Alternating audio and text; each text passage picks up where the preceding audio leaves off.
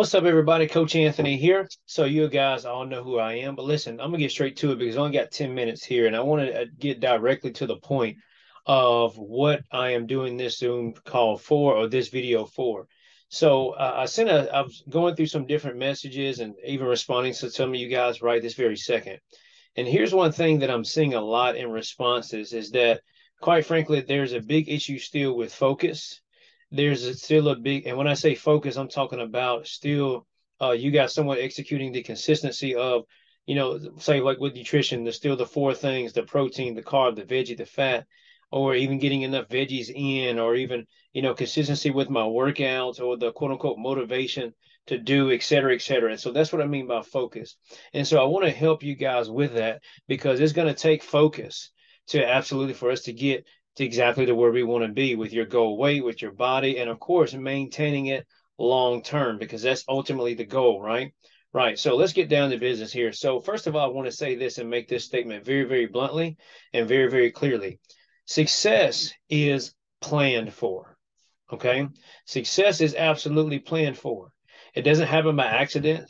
It doesn't happen by, you know, coincidence or, or any of those things.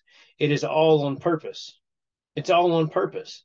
And so when I say on purpose, what I mean is this just like if, say, you had a toothache and you wanted you needed to go to the doctor's office, well, in many cases, what do we do? We simply schedule a doctor's appointment or a dentist appointment to go fix that issue.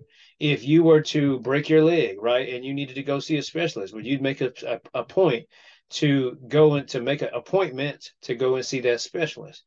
Well, in the same sense with this journey, if I want to lose weight, lose the belly, tone up the body, you know, all, whatever the goal is, gain muscle.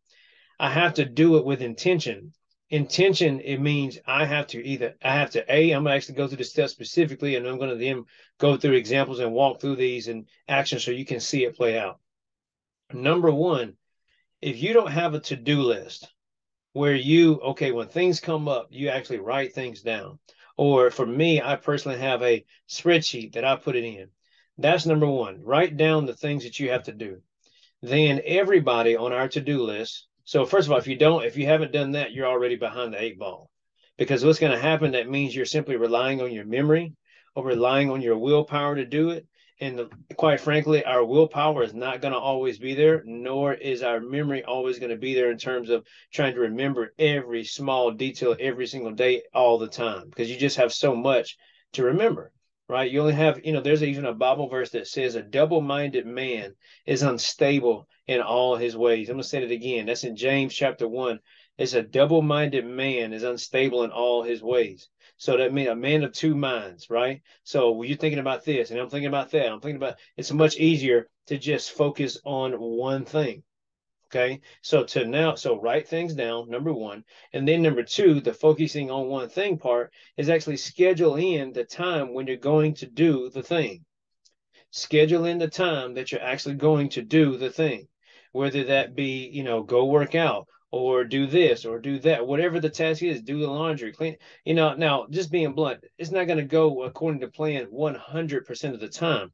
That's life. But at the same time more often than not if you actually do plan it you will see your life have a much more of a pattern to it much more of a routine to it and you're much able you're better to execute right? Because if i say okay i'm going to meal prep on sunday or saturday from this time excuse me to this time or I'm going to work out from this time to this time. If you don't ever take the time to say it, like and write it down, put it on a calendar, not in a planner, right? Where you just say work out on Wednesday. No, it needs to say I'm going to work out on Wednesday from this time to this time, and I'm going to get up at this time to this time. Let's say if it's a morning workout to execute that. You actually have to take the time to plan it out. It's literally like you're making an appointment with yourself. So if you don't if you don't make the time to take the time rather to make the appointment with yourself, it's not going to happen. Right. And especially for you guys that are either remote, especially in a case like yours, you have to say, like, if you're working out at home, you know what, I'm going to get up at this time, like, write it down on a calendar. If you don't schedule it in, what's going to happen? The alarm is going to go off and you're not going to be motivated to do anything because you didn't actually make a point to actually write it down or put it on a schedule. Okay, so you actually have to do the task. If you don't do the task, again, you will find yourself struggling with consistency and motivation, all those things, right? Because when you make that appointment, with yourself. Again, using the example of people working out at home for those of you guys that are remote. If you don't make the appointment to do the thing, what's going to happen is is you're going to allow other things to shift in that. You're just going to, you're quite frankly, going to make excuses. Oh, I was this or oh, I was that. Because if you make the appointment, you by default push everything else to the side. Okay. Because you'll say to other people, other things that may need you at that time, hey, I'm busy. I've actually scheduled in an appointment, just like you would if you were going to a dentist appointment or a doctor's appointment for your children or something else. No, because you simply can't be in two places at once. If somebody called you and you had to take your son or daughter to somewhere, you say, No, I can't be here or do that because I have to take them to the doctor or I have to take them to school, right? So you schedule it in. So now for the last four minutes here, I want to actually walk through exactly what I'm talking about. So I'm going to actually share my screen here. Let's see here. I want to make sure I got up my right windows here. So I'm going to go to my memo. So let me share that with you guys. Okay, so this is my memo. Okay, this is how I keep up with everybody and everything. I'm going to zoom in on this a little bit. So I'm going to use so these are different things that you know I have on my sheet. They're coaching, business related stuff, personal stuff that I have here, you know, different goals, et cetera, et cetera. So let's just say one of the tasks here that you see is just take the dog to the vet, right? Let's just say that that's the most important task on my list. So what I'm going to do is I'm actually going to go to my calendar. So I'm going to just do it this way here. I'm going to go to my calendar and I'm actually going to say, okay, let's say for I'm going to change it to a day view, just a single day. Use today. So let's just say I'm going to go to the doctor at, let's take my dog to the vet rather at 8 p.m. tonight, which I'm not going to do that obviously, but let's say I was. Okay. So I'm going to simply put take dog to the vet. Okay.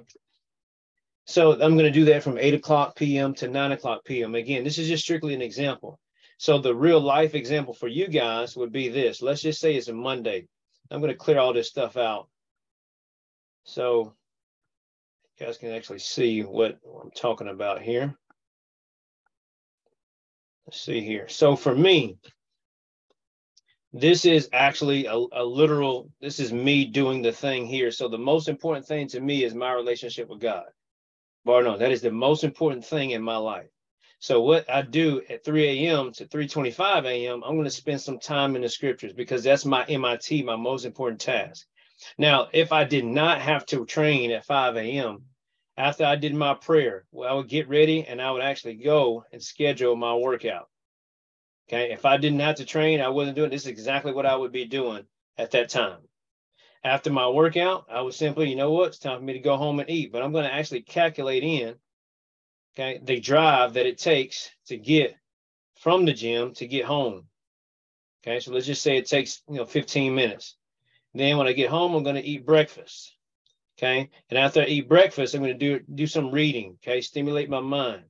And then for most people now, it's seven o'clock. You know, I'm either I'm for many of you guys, you're either again taking kids to work, or if you're single, you're probably you know getting ready for work, et cetera, et cetera. But again, here's my point: is the reason that I can make this list of stuff, my scriptures, my exercise, my faith, my prayer time, get ready, go work out, drive back home, eat breakfast, read a book, and then all this other stuff doesn't mean anything to you guys, but I know exactly what it is. But my point is, is I've actually taken the time to say, you know what? I want my body to look a certain way.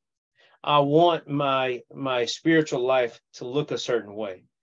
Okay. These things are important to me, and I've on purpose put it on a schedule. If you don't put it on a schedule and you can look at my entire week and see the same thing. You can see the same thing every day five days a week. Now does it always go according to plan? No it does not especially now i have a daughter. But the whole point is more often than not if i actually take the time to actually make a schedule i'd say at least 50 to 70 percent maybe 75 percent of the time it does go according to plan i get more work done I become more efficient and I can stay on track better than if I did when I did not. So, the last thing in closing I want to say is this. Again, number one, the first thing that you must do is again understand that success is planned for. If you're trying to lose weight, I have to plan for that.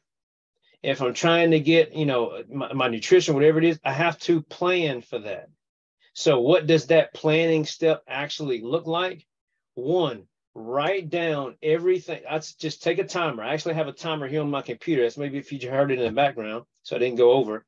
But actually take the time to make myself a to-do list, just like I did on a memo. Once I make that to-do list, I say, okay, what's the most important thing on my list? How do you know what's the most important thing? Ask yourself this what are my goals for this year? What's my goal for the rest of this year? Right? It's only two months left anyway. What are my goals for the rest of this year? If that's lose 50 pounds, well, my MIT is spent. Okay, I need to schedule in when, from what time I'm going to do that workout, whether it be at home or at the gym. I need to, I know I got to have my meal prep done because I know I'm going to get busy and not feel like cooking every day right? So I got to schedule in. I'm going to do meal prep for 90 minutes, just like we gave you guys on that sheet, from this time to this time. Okay. If you're one of the people that say, you know what, I want to, you know, I, I get bored of the same thing every, every two, three days. And so I want to rotate it. Well, then you need to schedule in when you're going to do that second or third day of the week of cooking. I'm going to do it on Tuesday night from 7 to 8:30 or 5 to 7:30 or whatever the time is. But you have to schedule it in. If you don't plan for these things, it is a plan to fail. Not having a plan at all is a plan to fail. So I'm going to take this video, I'm going to upload it to the Facebook group, and I'm going to put it on YouTube as well. And the point again, I just want to close with this thing is you have to plan for success. It doesn't just, you don't just fall into it. Okay. So you guys have a great evening. I'll see you guys soon.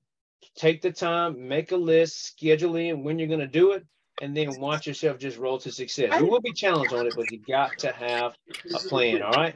See you guys later.